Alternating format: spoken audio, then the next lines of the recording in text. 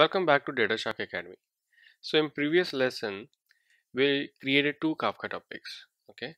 Now if you want to look at what are the topics available on your Kafka cluster, there is a command option within the Kafka topics.sh. Okay. And it's called list. So let's try this out on the terminal. Okay.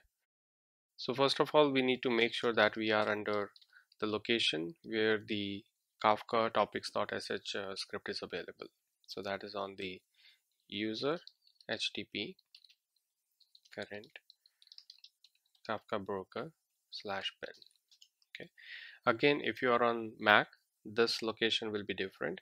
Just go to the location where your Kafka is installed. Most likely it will be user local Kafka and under bin you will see all these uh, executables.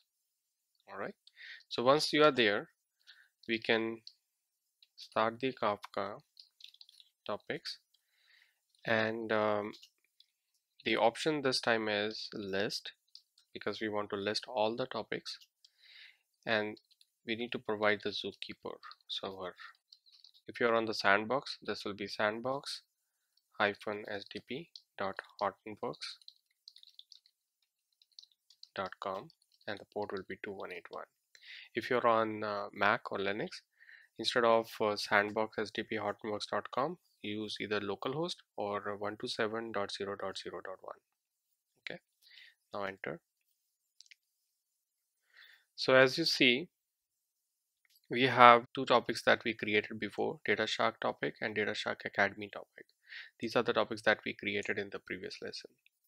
All right. There are some other system created topics as well, but we don't need to worry about those. All right, so now here you see that we have both the topics that we created in the previous chapter. Okay, there are some other topics as well, which are created by Kafka. These are system level topics.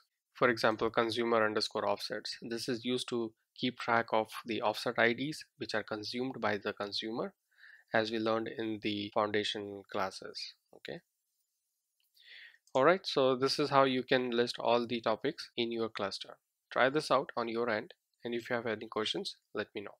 Thank you.